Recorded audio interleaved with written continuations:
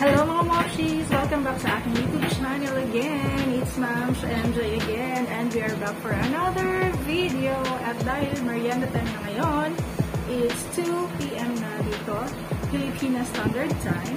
Gagawa tayo ng merienda at mayroon akong uh, gagawing experiment. Meron akong nakita sa TikTok.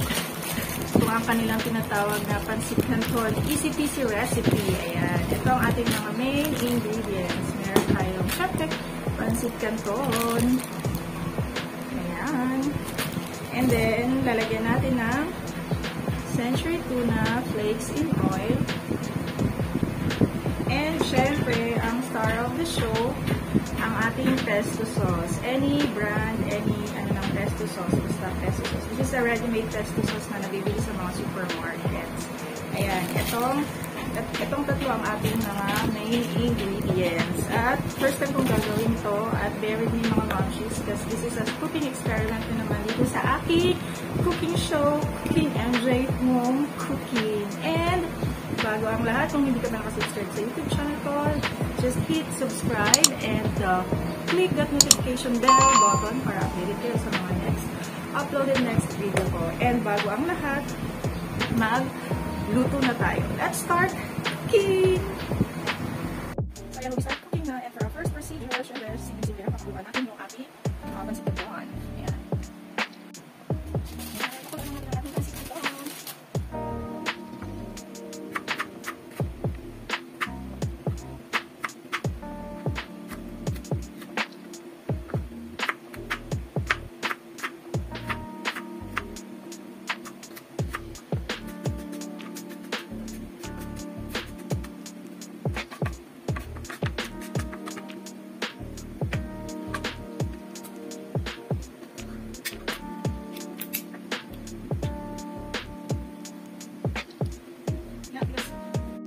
ayan, habang pinapakawa natin ang ating pancit canton, birin na natin ang ating sauce na yan. Naglagay namin ng bawang, pinapag na yung century tuna. Eh, kukulang tayo ng konti portion naman kasi isang konti lang ng pancit tuna natin lang. Uh, pampilang na pesto sauce. Ayan, check natin yung ating pancit canton. So, ayan, dahil kulo na yung ating tubig, ilagay natin ang ating pancit canton. Ayan. So, ayan, dahil nag-drain na natin yung ating pancit canton, i-ready na natin ang ating uh, mga, ang ating sauces. Ayan, nagpa, nag-preheat na ako ng ano, ng kawali, and then magigisa na tayo ng ating sauce. Kuha lang tayo. Yung pang oil na pang gisa natin is yung from pesto sauce na oil. Kasi olive oil din naman to. Konti lang. Pang ano lang siya. Pang sautay lang natin ang ating sibuyas. Then, atin natin ang ating bawang. Ay, sibuyas pala. Basically, isasatay lang natin yung uh, sibuyas, yung tuna, and then yung pesto para sa ating sauce. And then, i-toss na natin later yung ating pansit Easy, easy peasy pansit canton. So, ayan, okay na yung ating sibuyas. Lagyan na natin ang century tuna.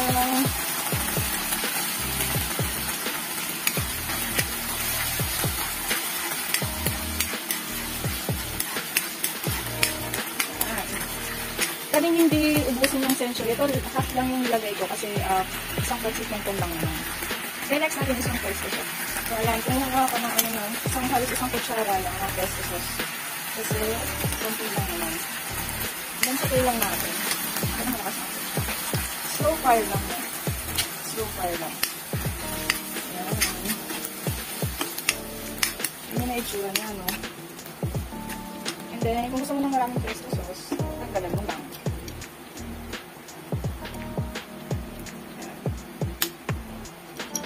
Hindi ko talaga sa pesto sauce. And then, itotos na natin ang ating pancit canton. Ay, wait! Lalagay pa pala natin ang mga seasoning ng pancit canton. Yun yung magsisilbing ano, uh, pampalasa niya. Okay.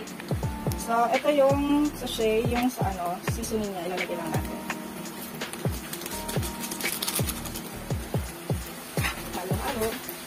And also, kung gusto nyo ng ano, spiciness, lagyan mo na rin yung spicy flavor. Ayan. Ito yung toyo and chili oil ng pancit canton. Yan. Para may cooking kick. So, ayan. Okay na yung sauce natin easy-peasy pancit canton. Lalagay na natin. Ipopause na natin yung pancit canton.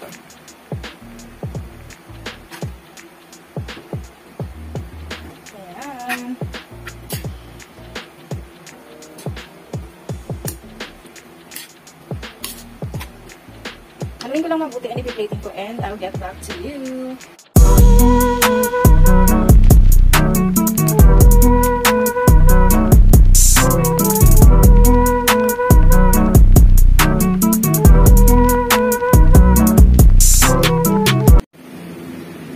So, na mga mamshis. Tapos na ang ating cooking ng ating Easy Peasy Pancit. And ayan na siya, ang ating finished product. And ngayon ay magmumukbang na. So, for our mukbang, meron ako dito, syempre yung ating Easy Peasy Pancit Canton. Ayan, in pesto, tuna and pesto. And then, bumili ako kanina doon sa labas ng um, turon, banana turon, and syempre kapartneran natin yan ng ating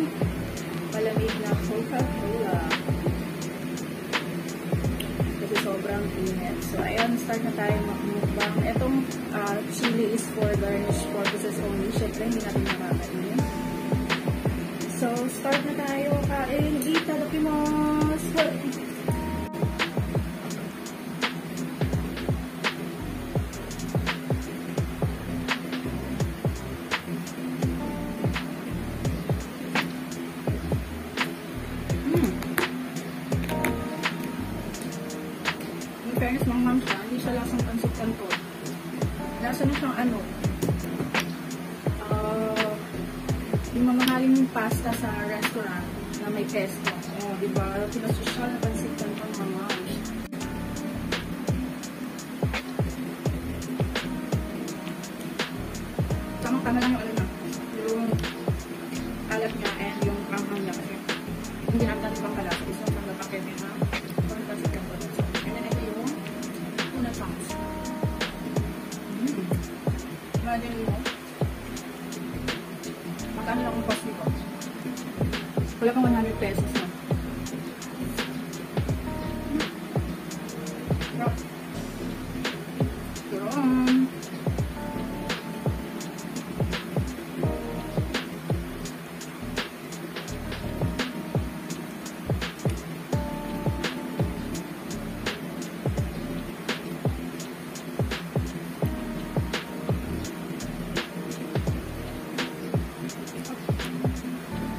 perfect combination sila ng tamis and salty.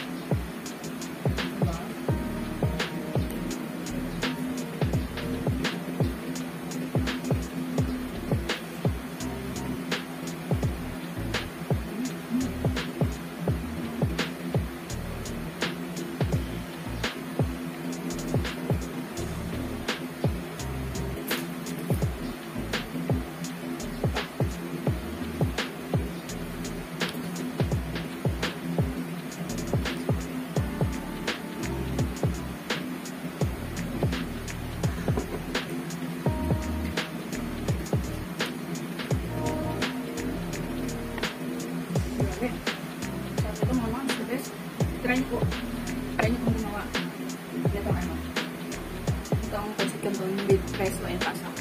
Pesto and pasta. Pesto sauce and tuna.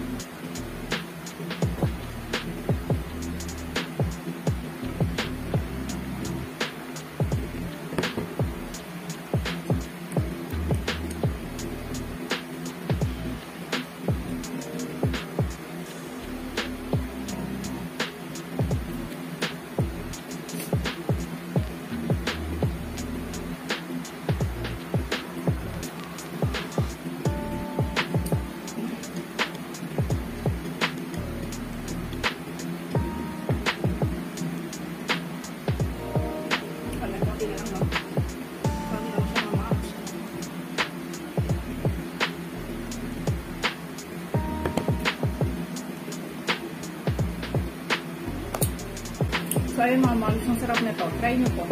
Ah, pwede siyang pang-merienda nyo talaga.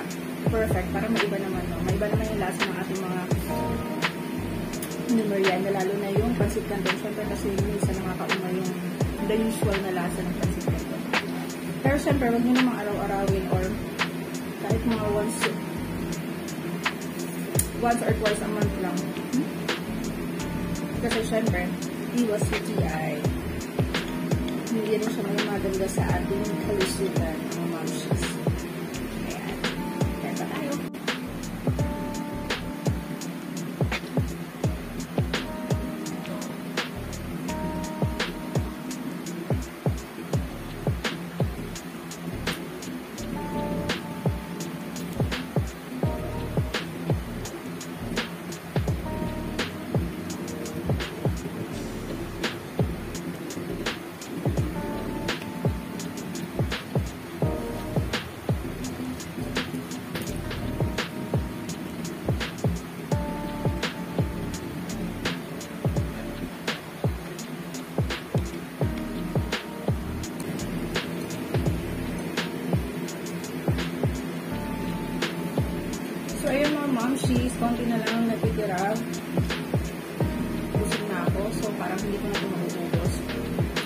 Judge me, hindi talaga ako malakas kumain.